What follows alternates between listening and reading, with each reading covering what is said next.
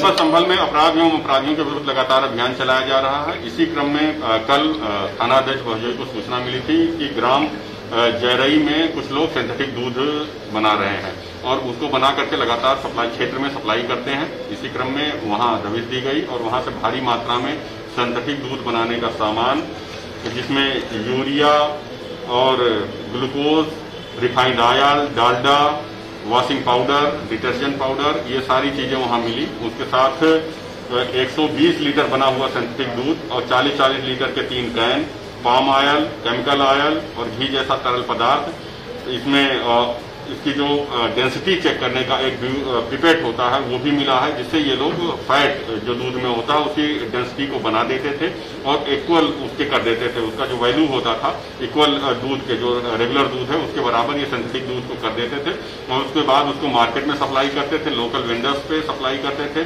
चाय की दुकानों पे सप्लाई करते थे और विभिन्न प्लांटों में भी सप्लाई कर रहे थे।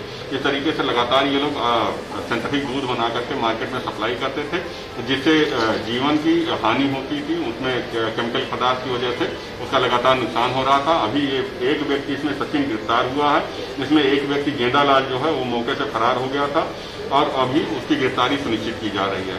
इसमें और भी लोग, और जहाँ जहाँ सप्लाई में लोग शामिल थे और कहाँ कहाँ सप्लाई हो रहा था, उनके भी चिन्हित किया जा रहा है। मैनुअल इंटेलिजेंस और सर्विलांस की मदद से उन सभी को ट्रैक किया जा रहा है। जो भी इसमें संलिप्त है, उन सभी के खिलाफ और प्रभावी कार्रवाई की जाएगी। हमारी तरफ़ से पंद्रह हज़ार रुपए टीम को इनाम के रूप में